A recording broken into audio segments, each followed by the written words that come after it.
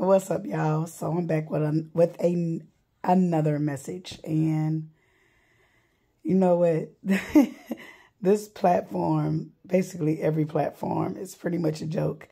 You know, we, you know, world leaders, you know, people who are here to make a difference in the world, individuals who truly want to see citizens have the best in life, no matter how hard that we push the message and how hard that we try to open the eyes of individuals, there are still people, majority of the time, that will, you know, try to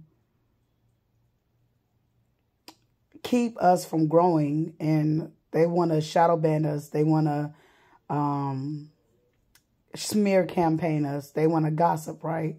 They want to do everything that they can to stop our voices from being heard.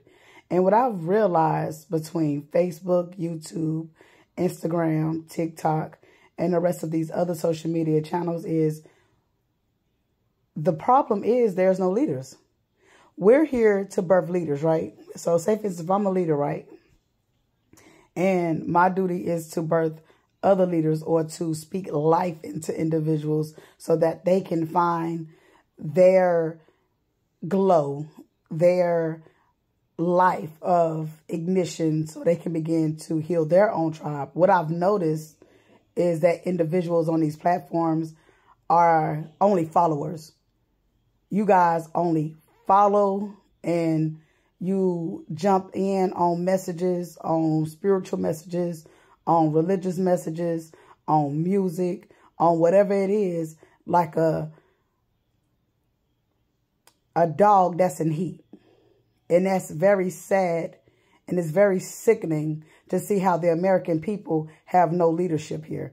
And this is why this country morale is falling, why there's no morals or no discipline or no character. And it's and it's and it's absurd, guys. It really is. It's very absurd. And I will be exiting out this platform very soon with or without you guys' help because either way it go, my help comes from the divine.